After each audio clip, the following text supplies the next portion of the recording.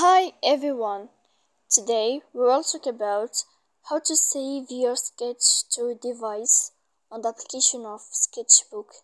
To know how to save your sketch to device on the application of Sketchbook, you should just go to the app of Sketchbook as you see and you click.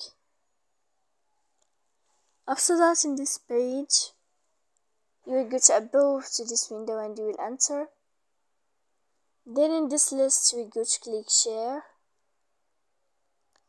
Here in this list we click save to device.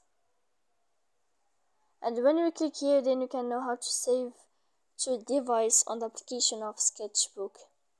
Uh, you can uh, uh, save your dev to device your sketch. So please don't forget to support us by like and uh, subscribe.